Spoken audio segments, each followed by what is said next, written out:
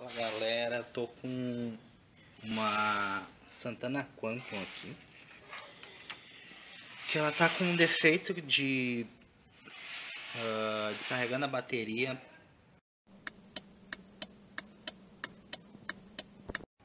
Muito forte. Quando o cliente relata que quando tá parado logo a bateria descarrega. Então eu tinha ligado o multímetro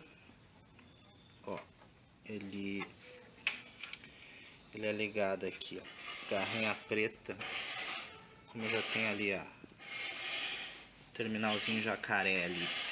A medida dele ó ele tem um valor de pico daqui a pouco ele desce pro valor normal dele. Uh, a outra garrinha vermelha aqui ó ela vai no outro lado do border então aqui a gente abre o circuito para poder medir a corrente dela. Esse valor ali tá em, é um valor que, como ele tem muito módulos e, e, centrais no carro ali, ele é o valor da, da,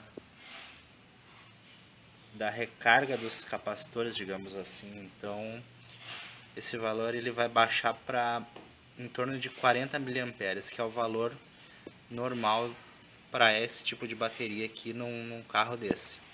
Então eu vou mostrar onde que era o defeito dele aqui. Ó, o valor já está baixando, ele já vai baixar para 0,4 por aí.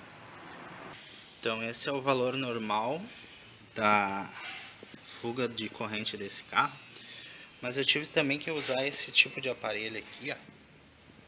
Ele é um amperímetro mais mais reforçado, ó porque ele chegou até a esquentar os cabinhos desse multímetro aqui, que ele vai só até 10 amperes aqui, ó. Esse valor de corrente ali.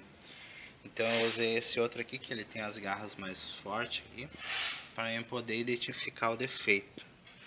Então, o defeito dele nesse carro aqui era era aqui, ó. Os botões do esse botão do vidro elétrico aqui, ó. Ó, ele tá trancando numa posição e ele trancou. Eu até marquei a, os fios aqui para mim não me perder. Já foi trocado o chicote original do carro. Então aqui ele chega o positivo e negativo do botão. Então o próprio botão estava entrando em curto aqui, ó, fazendo com que ocorresse a fuga de corrente. Então eu isolei, mas geralmente para uh, ah, para esse carro aqui, normalmente os outros carros a gente começa revisando luzes internas de porta-mala, que nem esse tipo de rádio aqui também, ele pode rádios mais mais baratos, digamos assim, eles podem ocorrer esse tipo de fuga de corrente.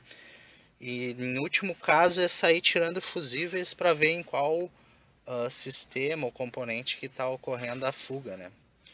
Então, nesse tipo de... Nesse carro aqui, o defeito era na, no, na chavezinha da... Botãozinho do vidro elétrico aqui.